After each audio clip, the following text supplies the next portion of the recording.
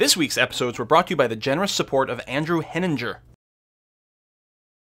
Hey folks, Dean here, and welcome to another episode of our Unity programming series on making a base building game, currently still codenamed Project Porcupine. We're going to work on something actually fun today. Uh, we're going to work on inventory items, or sort of loose stuff that's on the ground. Because right now, uh, when we go to build things, our character just walks up to something, actually walks on top of something. Yeah, that'll get adjusted later on. Right now, walks to a tile and just boop, instantly appears, well, actually after a tiny bit of delay, a wall will appear. But eventually we're going to want to change it so that he's got to go and grab grab some, you know, steel plates or something on the ground and then carries it over to the spot to start working on it. Something of that nature. And that's what we're going to look at today. We're going to get that started. So what we're calling inventory items or just stuff that's on the ground as opposed to furniture which is installed. Uh, I've gone ahead and made a very little simple graphic for like, I don't know, steel plates or steel ingots or, or something like that, just so that we've got something to play with. Uh, the other thing I, uh, actually, technically that was added in in part uh, 36, but we didn't talk about it. Um, some people sent me in some great suggestions for some fonts that we could use.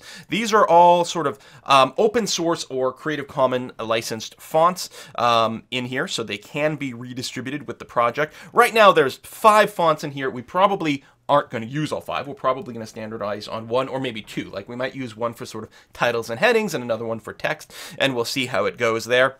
Um, so right now, the uh, the download file is going to be a little bit bigger than I would like because we've got all the fonts in here, but we're going to see how it goes going forward. And, uh, yeah, wait, uh, import settings? When I load it up and then click away? No, there we go. Oh, no, it does actually Something gets set. Yeah, sure, apply. I was hoping for a preview, but I guess we'd have to load it in here. Anyway, these fonts look very cool, very sort of futuristically, and futuristically excellent, and we're going to look at them later on. But I'm not going to redo the buttons quite yet. But they are in there if you want to take a look. They look quite cool. All right, so I've got my little steel ingots thing here. So what are we going to do? We actually do already have a class for inventory. Right now it's just an empty class. We have it in there because our tile class, if I actually open this up, our tile class currently does have a placeholder like point to what inventory is in my spot right now. And come on, there we go. Um, if we look for where's inventory in here? There it is, right over here. Da, da, da. So this is just placeholder, right? Is something like a drill or a stack of metal sitting on the floor. And one of the things we're going to have to address is the concept of the stack size for inventory. Um, because uh, furniture, you basically just have one piece of furniture in a tile. But inventory, we can definitely see a situation where we might want to be able to stack like 50 units of steel in one tile, for example. Um, although some types of inventory maybe doesn't stack. For example, the, the furniture example, right? If you have a sofa, now the sofa can be installed as furniture in a room, and it might be like a three by one area.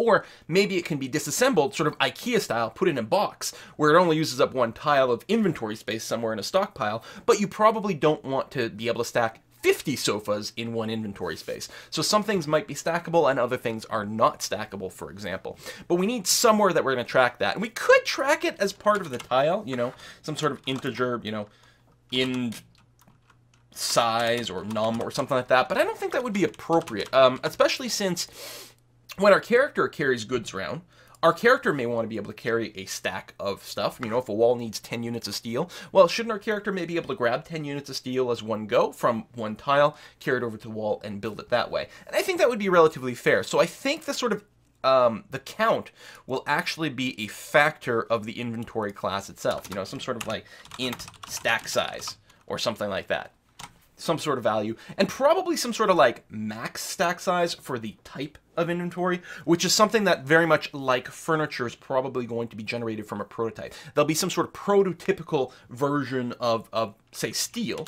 like, you know, so assuming we have, say, a string, which is something like, uh, what do we use for, for furniture? Something like object type. And let, let's have it default to something. So we're just going to create a dummy one. The object type will be steel ingot. I don't know if we do ingots. Maybe steel plate because ingot sounds like the sort of thing you'd be smelting and whatever. It seems a little lower tech than we would want. So let's call it a steel plate as a default. Obviously, we'll be going to be constructing this in some way later on, and we'll probably have some sort of integer like uh, max stack size. Um, and for steel plates, it could be something like up to 50. For other things, they have a max stack size of 1, in which case they might have a, just a slightly different behavior. Like we probably, on the user interface side, which is what we're going to be starting on in a moment, you know, when you're in the world here, and you've got a stack of this stuff on the ground somewhere, you probably want to see the little um, ingot symbol you know, our little the little graphic that I made um, with a little number, you know, like 37. We got 37 stacks of steel in this tile. But with our sofa example, we probably don't want to put a number. So most likely what will happen is if the max stack size is just one, then, or maybe if the stack is currently sitting at one, then we don't show a number. But I don't know, if you have one steel plate in a tile, would you still want the number one to be shown there? I think we would. I think for stackable things, you'll always want to see the number. So anyway, that that's that's a question for later, of course. Um, so our max stack size for steel plates will be 50, and it never makes any sense to have a stack size that's less than 1. I mean, if you hit 0, then you just remove the stack completely. There's no longer a stack of things over there. So, I mean, we can assume it's going to look something like this at first. Is my um, mouse cursor not being captured? Oh yeah, there it is. Okay. Uh, we're we're going to assume something like this is a default. And again, in, in a moment we'll come back and we'll construct some things using this, but that's going to be okay. And let's assume, uh, for now, let's just make these public. Probably later on we'll use um, getters and setters with different kind of accessibility. But for now we'll just set them at public. It'll make it easier for us to read the other data. And then, yeah, we'll come back afterwards and uh, set up some sort of... Um, set up some sort of permission thing in in the future but that's going to be a good start so let's work on getting this to be visible actually let's work by setting up a, a little dummy stack of this in the world. So when we go and create the world, uh, we can go and stop this. When we create the world, all right, so world, uh, it starts, this is where we set up the world. This is to set up an empty world. Um, does it get run when we load? Actually, I don't remember about that. When we, because uh, we load from here, don't we? Do, do, do, Find load. Saving and loading. Get schema, read, write. So when we read, we do set up the world. Hey, I just realized something.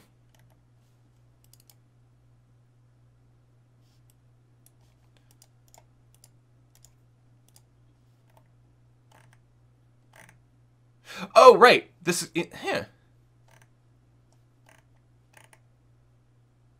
How are we instantiating the world? Do we have more than one constructor? Oh, we do. We do have an extra constructor. Where's this one? Oh. Yeah, it makes sense that this would be in saving and loading, but I was getting very confused here for a second. Let's get both of our constructors in the same place. There we go. So, um, this is the default constructor used when loading a world from a file. There we go. And so we don't always create a construct uh, character. But what I want to do is I want to go ahead and create a dummy steel plate somewhere. So in fact, um, after we load the world, I'm just going to have a, a, def a dummy sort of thing going on here. Uh, well, hold on. We got to get back.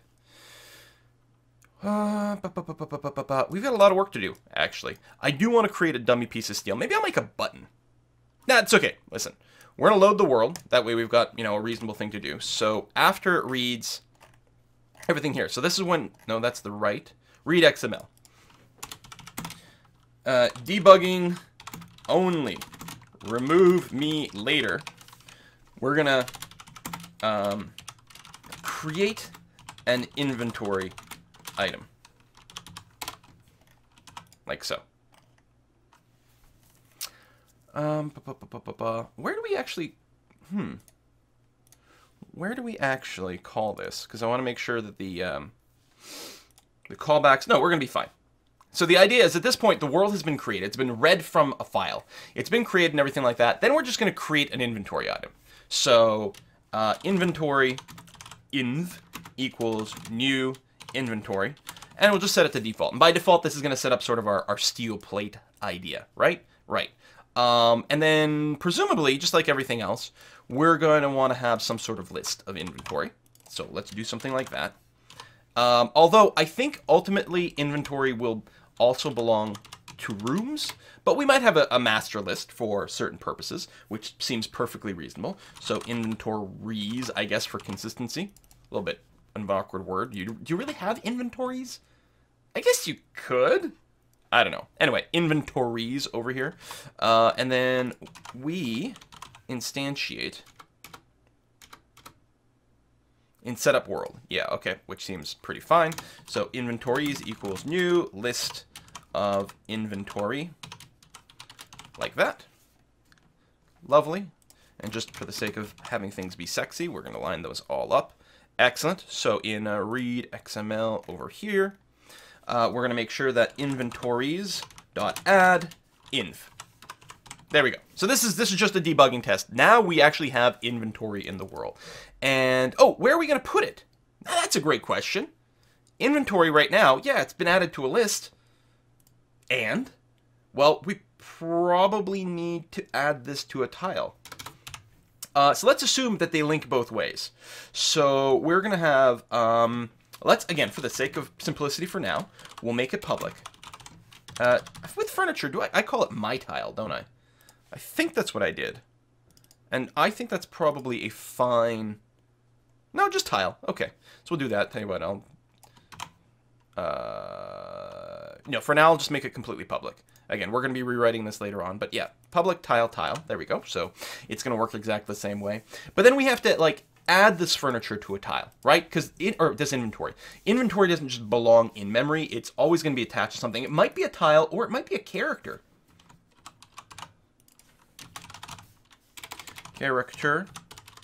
Uh, I guess cha, because I can't go car, because that's a that's a data type. That's a no go. I mean, I guess I'll just write it out. That's fine. Um, inventory is either sitting on the floor in a tile or inventory could uh, or can be carried by a character, but never the two. So we're going to go and we'll probably put in some sort of validation here. You can't both belong to a tile and a character. Um, so we'll, we'll keep track of who's carrying us. Although I'm not actually convinced that we need to know. I don't know that the inventory cares about this. I don't think the inventory is ever going to have to refer to its owner. Actually, I think that's very true. I think that's very true. So instead, we're just going to make sure that the tile here, it's got its inventory. So we're going to create some sort of uh, function. We do have a place furniture function. So for consistency, I'm going to call this one public bool place inventory. So they're, you know, a little closest. Whether placing inventory is exactly, you know, sensible, that's going to be good enough. So we're going to go inventory inv instead of this obj instance here.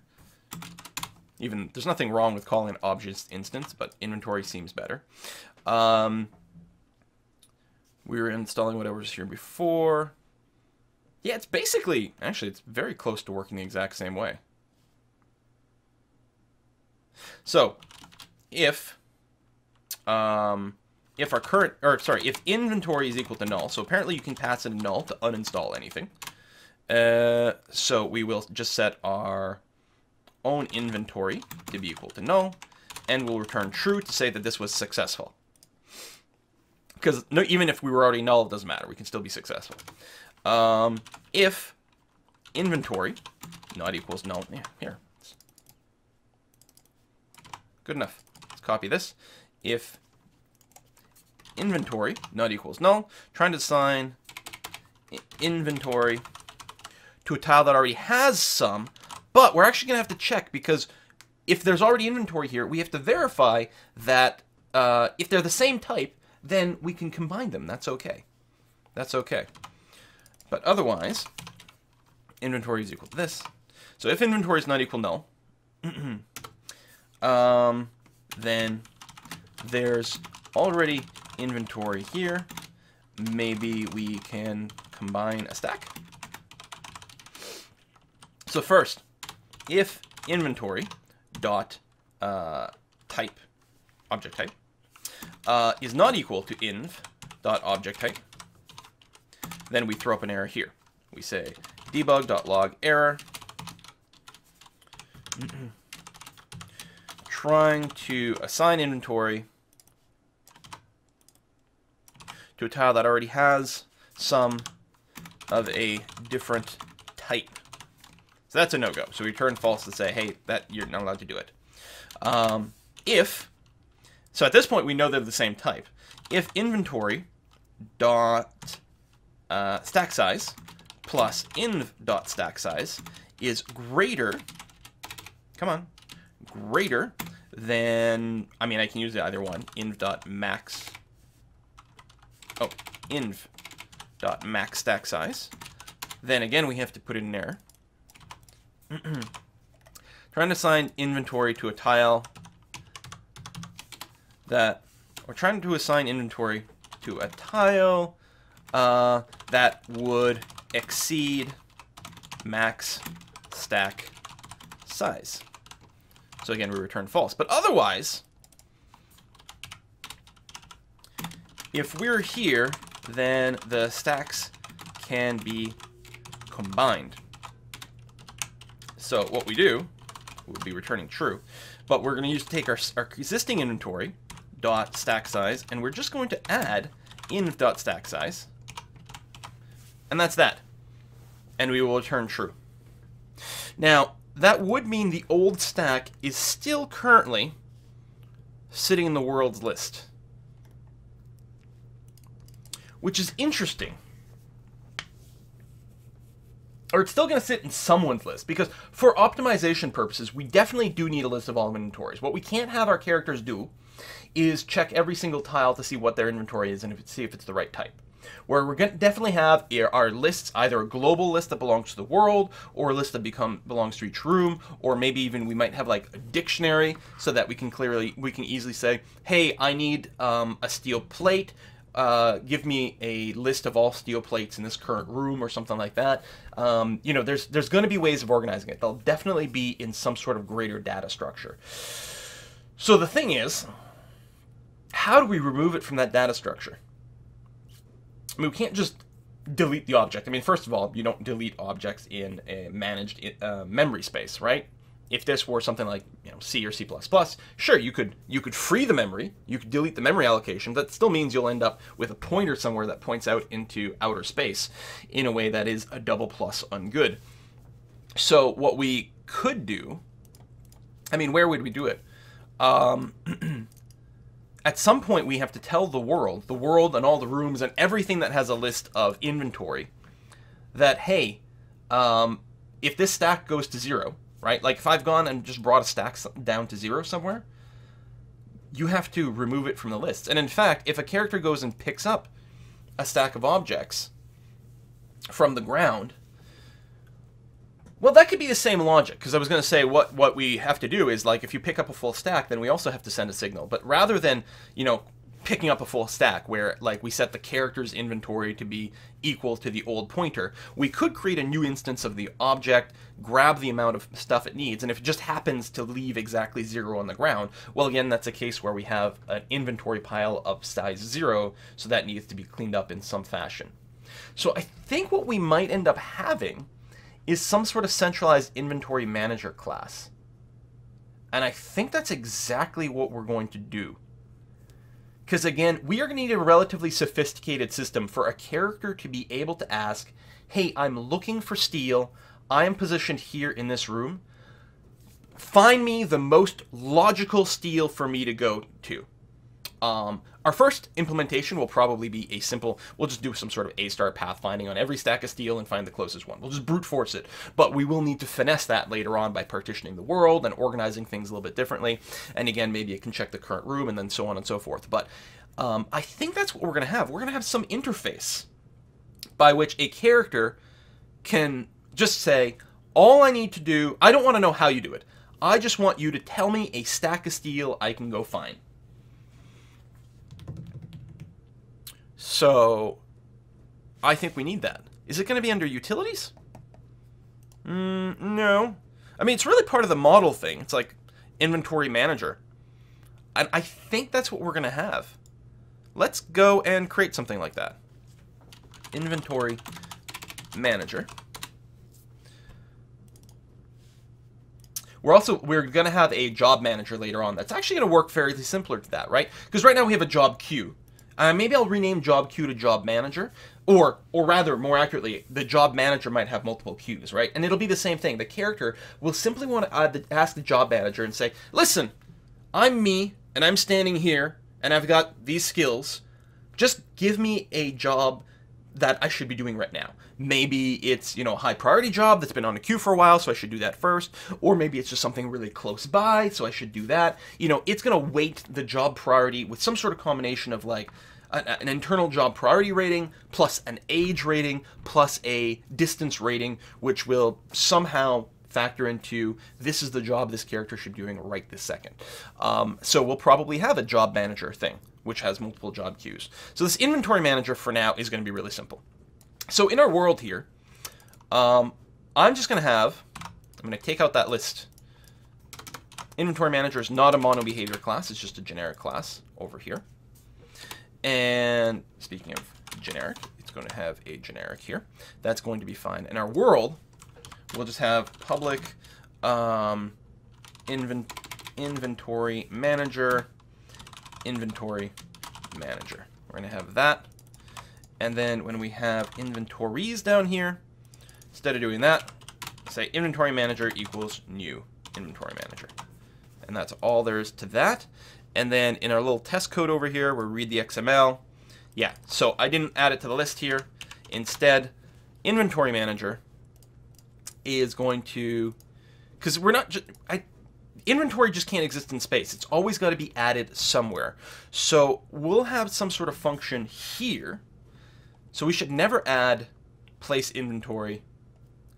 We should never call this directly anywhere else. It should really be part of inventory manager over here. So we'll have a public boolean place inventory. What needs is a tile, t, and an inventory, um, inv. I don't want to use um, i because I usually that's usually an index for a loop. So okay, we'll use tile and inv over here. And I mean, we could still have this code in place inventory, which I think is fine. And that's one of the things it's going to do. It's actually, it is going to call tile.placeInventory, inv. So first thing we'll do probably is try to place this. If this is equal to false. Again, I could put a not whatever, but this makes it very, very clear. Um, the tile did not accept the inventory for whatever reason, therefore stop. So we will return false ourselves to say that this is a no-go. But otherwise, it was successful. Um, so then what we'll do is, let's make a constructor, public inventory manager. New list of inventory. So we'll add it to our list of inventories at this point. Inventories um, dot add um, inv. Uh, no. Yes. No. No. Ooh, yeah, that's kind of interesting. So in theory, this is a list. Whoops. I'm not going to do the triple slash version. I'll just do that. Uh, this is a list of all live inventories. Uh, later on, this will likely likely be um, organized by rooms instead of a single master list. Well, or in addition to, or in addition to. We still might want a single master list just to make it easy to show the user um, their total list of in all inventory items, right? If imagine we have some sort of panel that the user can open or close or some sort of window that gives you just a breakdown of everything that you own, well, it would be easy to iterate over this instead of having to iterate over every room and then add everything together into one other list. So, I mean, this is just a little extra memory and a little bit of extra shuffling around as inventories get created or destroyed. And certainly, right now, because we're not doing room-based inventory tracking or anything like that, we are just going to use this one master list, which is not going to be efficient for pathfinding later on, but for now, it'll work. So, at this point, at this point, um, inv might be an empty stack if Oh, did I properly handle the case? Yeah, no, yeah. Ooh, that's interesting. I don't want to do this. So I was saying, like, if there's not only already inventory, we just set the tiles inventory to this inventory. But we don't want to do that. I don't think we're ever going to want to just assign one to the other. Instead, what we're going to do, it's not everything's fine. At this point, we know that um, our current inventory is actually uh, null. Now, we can't just do a um, direct assignment because the inventory manager needs to know that the old stack is now empty and has to be removed from the previous um, lists. Where does it?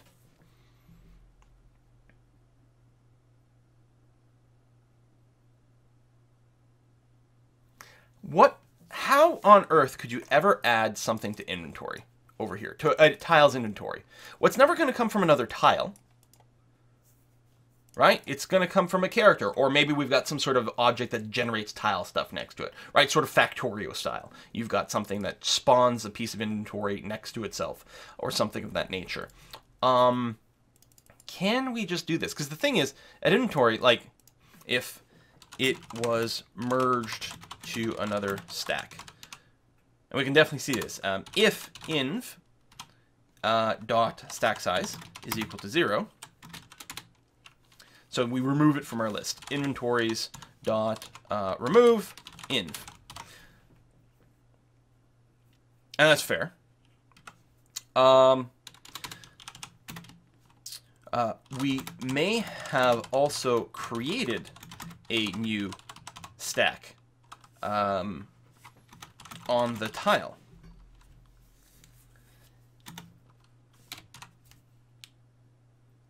Would we ever create a new stack?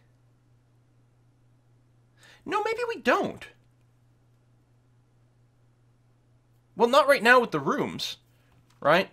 Yeah, okay. So right now, since we don't track individual rooms, we could just say the stack that was on the character is now the stack on the tile, and the stack in the character was probably already in the inventories list.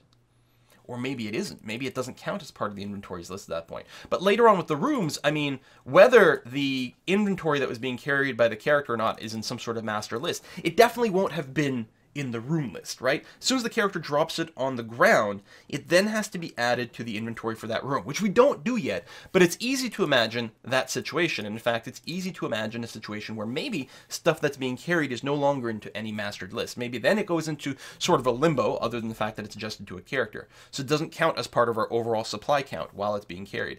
I, I, maybe, that, maybe that's a little bit weird. Um, so, I mean, we can create, like a tile can go from a null to actually having a stack. But it won't have created a new stack out of nowhere, unless for some reason the character is only putting down half of the stuff it's carrying, which seems kind of sort of impossible. I forgot this is the best way of organizing this.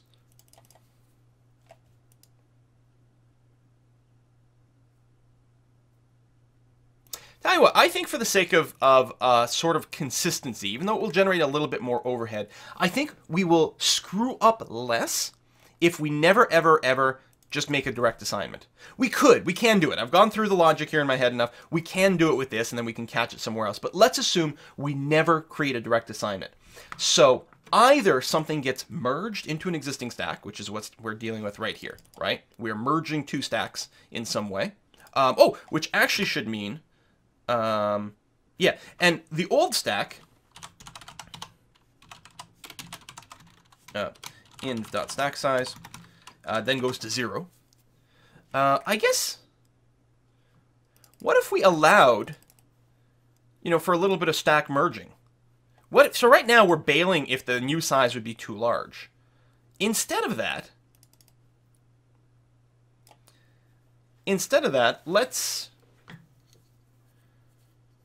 Let's let them merge um, uh, a stack and still keep some on the parent one. Right? Because let's say we've got a stack maximum size of 50, uh, and there's a stack on the ground that's 40, and their character's holding 20. It's perfectly reasonable for them to want to drop 10 on the existing stack to make it 50, and then they'll put the other 10 somewhere else. So instead of bailing out, yeah, we're going to do that. So we're going to say place inventory never creates a new stack.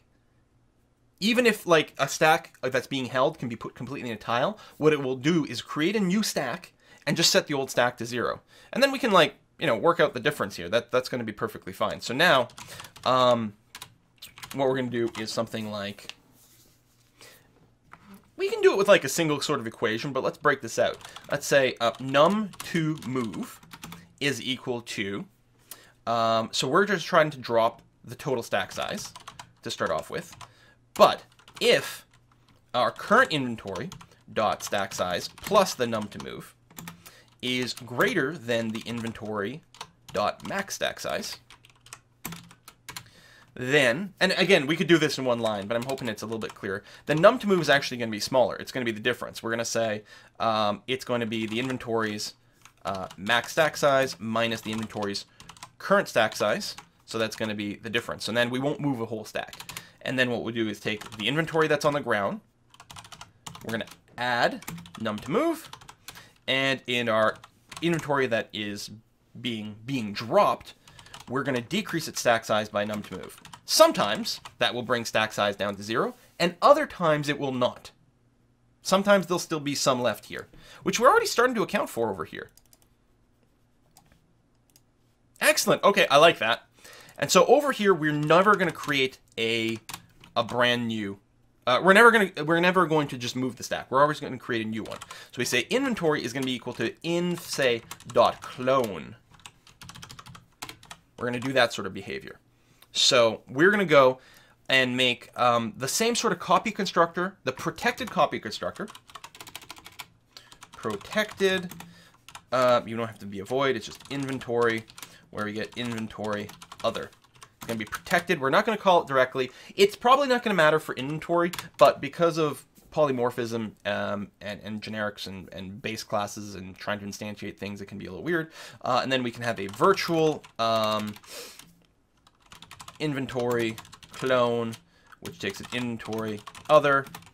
And all this does is return a new inventory cloned from other, like that. And so when we clone, we say object type is equal to, oops, other dot object type and max stack size is equal to other dot max stack size and our current stack size is equal to the other dot stack size. Like that.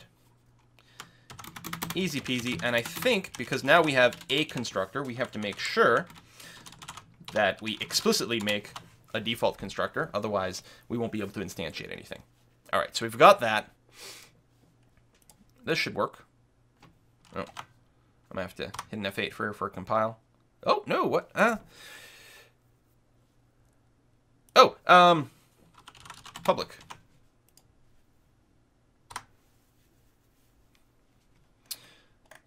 There you go. Right, and you have to return something. Um, just for the compiling to work, we're to assume that if we get to this point, it will be true. And we have a single enter there. That would be an assignment, not a comparison. And Oh, right. You don't have to... Hold on. you don't need another. You're cloning yourself. Like that. F8. Excellent. Good. Okay. So that's good. So we make a clone of the old one, and then we set the old one's stack size to be equal to zero. So it's a we never do a direct assignment because we need to know the old stack is now empty. So we need we make a clone of it and put it within the tile, and then the old stack, which the character was carrying or, or whatever, wherever it came from, we set the stack size to be equal to zero, because then when inventory manager runs, we can check to see if the old stack size was zero and remove it from everything, clean it up from everything, and that'll be fine. Um, and there's no may. There's no may. Um, we have, uh, well, no, there's me. Um,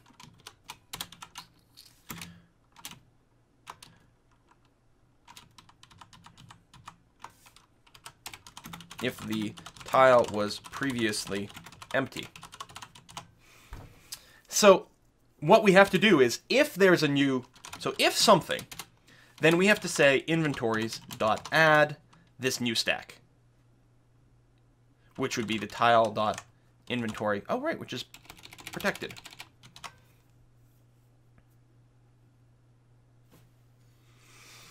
Hmm, that's interesting. No, I mean, I can make it public in some way. That that would be fine. Um, and that's probably what we'll do. But there is the idea, tile.placeInventory, instead of returning a boolean true or false, could return the copy of the new inventory that it made. But I kind of like it just being a boolean because it compares to place furniture. And place furniture is not creating any sort of copy or whatever. So I think it's fine that it's a boolean, but we do need um, some ability to modify this. I think what we'll do is we will update this to be a property with a public get and a protected set, like that. So now I can say, um, I guess we'll do it the hard way right now. There's probably, well, because what I was going to say is if inventories dot contains um, the inventory or the tile dot inventory is equal to false. So if it doesn't already contain it, we have to add it in. But that means us doing a lookup every time. If we have multiple lists and things like that, it might be a pain. So I think what might be better is something like um, inventory, uh, old tile inventory. Well, really, we're just checking to see if it's null. So bool um, tile was empty. There we go. It's going to be fine. Is equal to uh, tile dot inventory equal to null. So that's it. So if the at the start of this function, if the tile's inventory is equal to null, then tile was empty is true. Otherwise, it's going to be false. So um, if at this point tile is no longer empty because we've we've successfully completed this, right? This returned true, therefore tile is no longer empty. But if tile was empty, then we have to add it to our various arrays and dictionaries and yada, yada, yada. Right now, we just have a single list. That will definitely have to change later on, but for now, that's going to be good enough. So then we can say, oh, tile was empty, so let's make sure to register our tiles inventory in our list so that we know that it's there. And it, now we have something searchable. This is so not the uh, the data structure we want. We're probably going to want some sort of like some sort of sub listing, some sort of dictionary where you can feed in like um, it's a dictionary of lists, actually, is what's going to be. Can we do that now? F it, let's do it now. So, public dictionary, where the key is a string. That's going to be our object type. Um, yeah, that's fine. I mean, we could also have a pointer to prototype or whatever.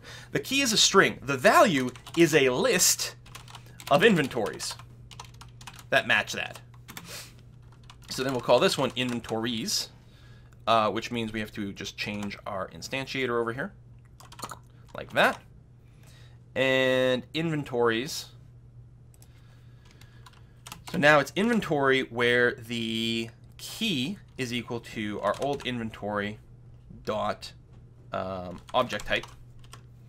And then it's from the list, we can remove this inventory from that list. There we go, that's going to be fine. And then inventories here, we're going to go uh, inventory of type uh, tile.inventory.object type. And that has a list, so we're going to add the tile.inventory to that sublist for that type. Probably want a, a, helper function for this, but and the other thing we have to do is make sure that um, if inventories dot contains key tile inventory that object type uh, is equal to false. So if it doesn't already have a listing for, say, iron plates, then we need to make sure that it does, and in fact gets instantiated with an empty list. So, because first of all, if it doesn't, if it's not in dictionary, this will fail. But not only that, um, if the if it is in the dictionary but it's pointing to a null list, then that's not going to be good either. So we're going to create a new list of type inventory if it's false. There we go. All right, so now, I mean, I haven't really tested this yet, but and we're the video's gone on long enough we're not really going to get the visuals but the question is if we were to say um, inventory manager dot place inventory and he needs a tile so we're going to get a tile at um, width divided by 2 height divided by 2. So we're going to put a tile in the middle, which is the same place our character starts on an empty level. Um, so we're going to get that tile, and we're going to try to add this dummy piece of inventory to it. We'll probably get some errors, because I suspect something has gone terribly wrong in here. So if I hit play, that only happens on actual load here, not the blank thing. All right, then we get some lovely errors right from the start. So let's take a look. Uh, yeah, you can't double click on this to get a reference. Inventory Manager, line 26. Oh, of course. I'm not checking to see if this um, object type is in the list, which it... Oh, right. Yeah, because it only gets created over here and not there.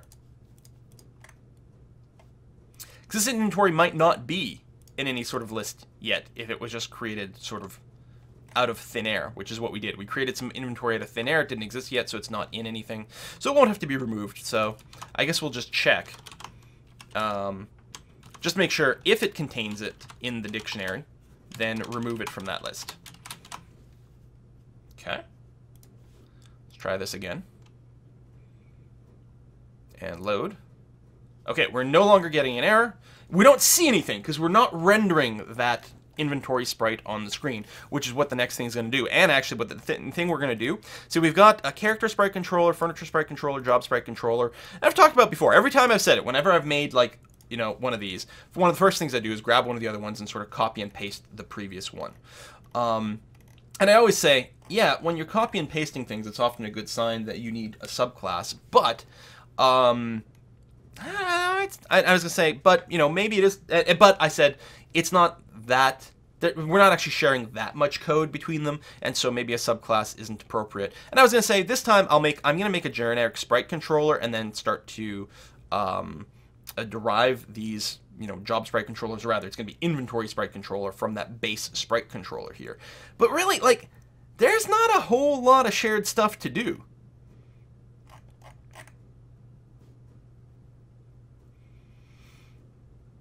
Um, on created. All right, you're a bit different, Job Sprite Controller. I forgot about you. You are a wee bit more different than some others. Let's compare it to something like um, the or the Character Sprite Controller. Might be even better because it's nice and simple. Got this load sprites function. We could have a generic load sprites function that is shared between them all because it basically works the same way. And what if I change our sort of resource structure? Then I've got to update like four or five files, but pretty minimally. And actually, I don't even know if we need a um, uh, a shared subclass as much as because really, what else are you sharing? I mean, you're you're gonna have some sort of map, but what the map maps to is well, I guess it's always going to be string to sprite. Oh, but then this bit, it's going to be from some type of object to a game object. That's going to change. It might just be fine to have load sprites be a, um, a static function in some sort of utility class.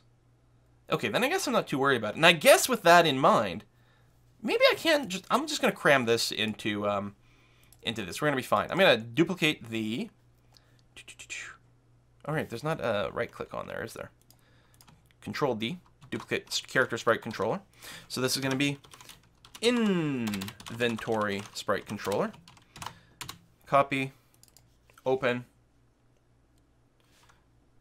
I had forgotten that I just closed this window. Open, open, open, open. So this is the inventory sprite controller. It maps from inventory to a game object, uh, inventory, and we're going to use F2 to quickly rename this to inventory game object map. F2 to rename this to inventory sprites. It's going to get the world. It's going to load sprites. It's going to do this. Again, this is inventory, not that. Um, we do need to register for some creation. There needs to be a function in world for inventory When inventory gets created or gets, well, or unregister the creation thing. It's going to take inventory, inventory, and for callback inventory created, and like that.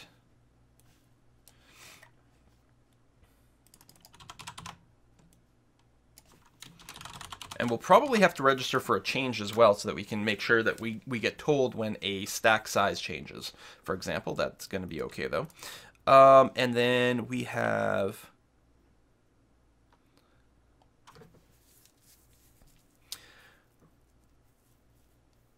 Right, here's where we call the callbacks from, right? Call, so we have this place furniture and place character and all those things here in world. Do we want that also for inventory? I think it's probably fine, actually. Oh, well, this this can be like spawn brand new. That would be a bit of a difference. Okay, for right now, again, we're going to keep going with our little dummy code over here. So after we create the dummy object, we will call if uh, callback inventory created is not equal to null, then we'll make sure to call callback inventory created. Um, we just call it. Uh, oh, wait, with the new inventory, like that. Um, yeah, that's kind of interesting. So, I mean, I'm creating this object. I'm putting it here. But it's not this that we want to give the callback to. This thing will probably not exist when this call gets finished. Or it will still exist, but it'll be of size 0. Because it will have been completely placed into some uh, ground tile. Yeah, that's very interesting. The inventory is definitely a different beast than some of the furniture. So really what we want to say is this tile that we created, this is the thing. Again, we'll, we'll try to end up with something smarter later on. I'm really starting to think that place inventory should maybe return not a boolean. But we're not even testing for the booleanness here at this point. We're just assuming it works. So the thing that got created is the one that belongs in this tile that we could have just um, grabbed here for explicitness. We'll do something like this. Tile t is equal to that. t and t.inventory. Something like this. So now with this callback is going to get called. Uh, do we actually... Inventory sprite controller. We register um, register inventory created, and we're going to name this function here to on inventory created, like that. And it's going to take in inventory. I was using a C there. That should not have been.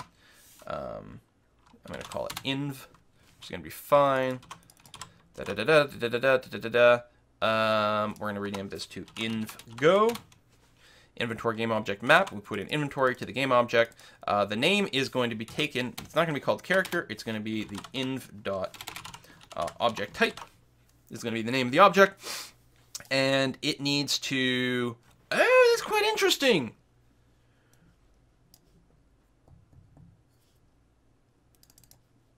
You know, this is, hold on. This is going to be a bit different. Because again, it's not really that inventory is being created so much as the stack of inventory in the tile has been changed. Now, it may have been changed from not having anything to having something all of a sudden. I'm wondering if we don't want an inventory sprite controller. If instead, we just want to add more code to our tile sprite controller. Right, we have that tile sprite controller uh, but what happens when a character is, is carrying inventory? Hmm, yeah, that's a possibility. So, I mean, there's a couple of different solutions. I guess we could go back to having the inventory know if it belongs to a tile or a character. Which is mostly going to be useful for the visual system. And that's pretty much it.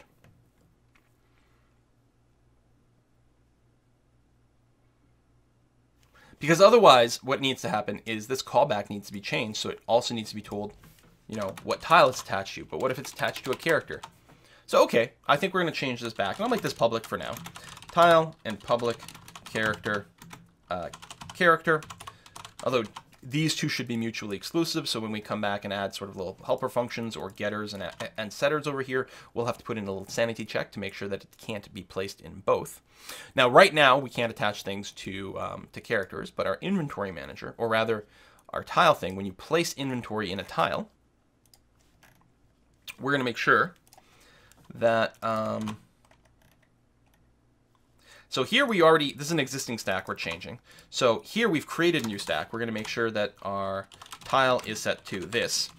When we clone, we're not going to clone the tile or character part of it. We're just going to clone the values because this is mostly indicative of, where it's being carried. But just to be sure, I'm going to make sure to explicitly ensure, well, no, I'm not going to do that because later on I'll put in a sanity check. When tile gets set to something, we're going to make sure character gets unset or something of that nature. So now inventory knows where it is sitting, which means over here I can go inventory.tile.x, inventory.tile.y, because we need to know that and put it in the right place. Um,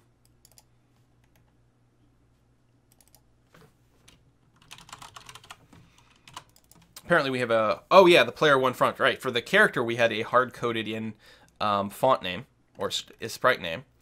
Uh, so really the sprite that we're going to use is going to be the inventory.object type. So we have to make sure those things match. Right now our hard coded thing is just being called steel plate which I think is fine. So let me just make sure that my image here image inventory. So instead of being called steel ingots, I'll call them steel plate because we right now require all that to match. Doesn't have to be the case, but it seems like a pretty good and smart way to do it. Uh, sorting layers inventory. So we grab that, which is good. Um, and yeah, right now inventory doesn't have an on change callback, but we're going to want to do this. Fix me. Add on changed callbacks. And we don't have an on character change. We have, or we do.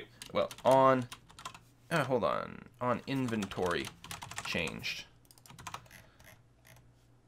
Like that. Oh.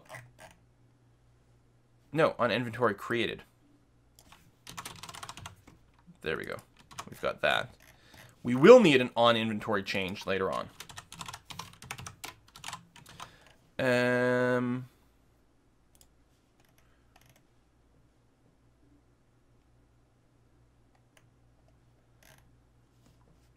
But we can just ignore this for now.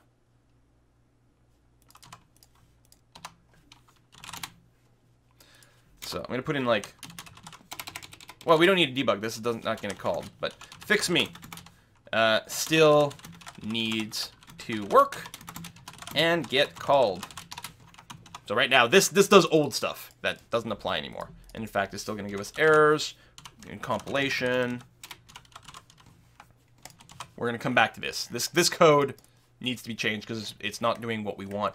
And we probably want to respond to, the calls in a few different ways. So we still have some work to be done on inventory, though wow, this video has gone way over. I really want to split this in two. It's still going to be split into two. But the other, the second video might be a little awkwardly sized. Um, let's see what happens if we try to run this. First of all, on inventory created. Oh, um, Oh, right, this is after on start, so instead we're going to say uh, inventory uh, inv call inventory created, but it's not world.characters, it's going to be the inventory manager. So world.inventory manager.inventories. And again, later on, this will be removed completely and changed completely differently, but this will work for now.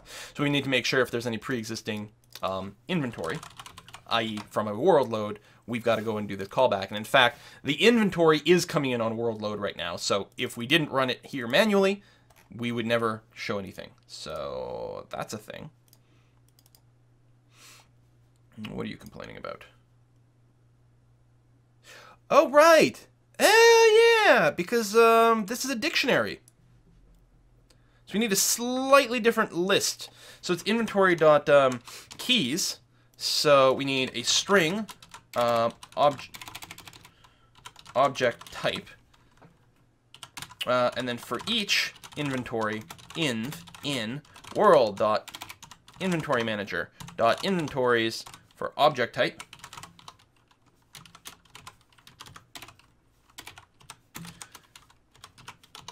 We then call that. There we go. So all the steel plates will get created, then all the next thing will get created, and so on and so forth. More. Uh, oh, I'm willing to bet. Yeah, this is got to be changed to inventory. We just had a mismatch. Inventory. The signatures weren't matching correctly. Okay, no more compilation errors. So let's go ahead and hit play. And then load. Well, we didn't get any errors. Oh, what I, I don't actually have the controller in there. So we're going to create a new controller. New empty. This is going to be called inventory sprite controller. And we're going to make sure to add this component to it. Now it'll actually attempt to run. Probably give us other errors. Load. We did indeed get an error. Uh, interesting. Line 64 of in inventory sprite controller. Oh, oh, oh, oh, it's not loading the sprites correctly because I didn't update this path. I believe I just call this inventory. So it's trying to load the sprite for a character. Well, it's nice to see that it's trying to run that. trying to load a sprite from a character uh, uh, from a with a name of steel plate, but in this folder instead of this one. One more time. Okay, well. Well. It's there. I suspect it has to do with the fact that we don't have an inventory sorting layer. It's there in the world. It's got the right sprite assigned, but you can't see it. And that's probably why. Um, so we want, uh, I don't remember where you set up the, the render layers. Hang on a sec. where do you do that? My mind just went blank. Um, sorting layers. Add sorting layer. Tags and layers. Oh, okay, all right. It's the same layer thing as you would set the physics one. That's right. Um, so we want something for we need an inventory layer, which is going to be, I'm going to say, here. Above tiles, above furniture, but below the job indicators and below the characters. Well, I don't know. Maybe the job indicators can be down there. Okay, so now it has a layer, and I think that's why it wasn't showing, because it was on the default layer, which was below our tiles. Holy crap, there it is. Okay, it is doesn't look quite right because this graphic is centered pivot. I'm still thinking we might go and make a change. So we need a we need a bottom left. I might change everything back to be centered pivot. It might ultimately be a lot easier for us. Okay, so it's there now. Oh, you know what's not right? Whoops, that's not what I meant to do. I wanted to... Oh, yeah, I want to go and take a look at this in the editor. Uh, where it is I want to hide the UI in the editor. This is not helpful. Um, it's because the size of the tile. Right, because my graphics is 128 by 128, and I said pixels per unit is 100. So I'm going to set this to 128, which actually is probably too high res of an image. But it's not lined up properly because it that the, the steel plates was bigger than one unit by one unit. There we go, there. Now it looks properly centered. You can see by the graphics over here. It is sitting in that tile, and that is indeed the same tile as the character is normally when it spawns. This is a center tile on our map. So our character was spawning there, and that's in the right location now. So we have inventory. We created a piece of inventory as sort of just a random thing in memory, right? If we go look at world, um, not world, world, no, actual world, not world controller, right? Presumably later on, this is going to get read from our XML file or somehow get created by us hitting a button and just spawning some initial inventory. Because we're going to need something to start with so that we can build, right? Sort of like when you start off in a RimWorld and just goes and just drops some extra resources from the pod or, or something of that nature. So we're going to have to have some sort of resource in the world, which when we create a new world, we're going to do something like this a handful of times to make sure that there's some steel plates to start off with, or it's going to be read in from the save file. Either way, we just create one that exists and we make sure to stick it on the tile. Uh, so we find a tile, we stick it in the tile, and we do that, and then it gets rendered properly. And we could we could throw a few more of these in here. Um, we could we could repeat this process a few times. Something like this. And tile. Let's go and add one. A couple of tiles to the right, and whoops, come on. And we're going to create another one, uh, one to the right and two up. Something of that nature. So if we go and give that another go, uh, stop, play, and load. There we go. We get our three bits of metal on the ground over there. These are currently stacks of one, I believe, with a max stack of 50. What we're going to do next episode is we're going to add a little bit of a uh, wee bit of text on these things so that we can actually know the size of the stack. So, oh yeah, that's the other thing we could do over here is we could uh, start them off with like a, no, I was going to say random. We won't make it random. We'll make this one a stack of, um, of 10. Uh, inventory dot stack size. And then over here, we'll make this one a stack of 18. And we'll make the last one a stack of uh, 45. There we go. Now, this is all fine. This will work okay. But we don't know visually that these stacks are larger than that. So it'll be nice to see when they're there, and of course we're going to want to change our character so that when he builds a wall, first thing he's going to do is try to grab some of this metal and then carry it over to the wall. So we got a lot of work left to do on this, but it's looking really good. God, this went for an hour. I apologize. A lot of times this is longer than a lot of people can watch. Some people will be happy. Some people will be like, this is crazy sauce. Um, but there you go. Thanks for watching, folks, and I'll see you next time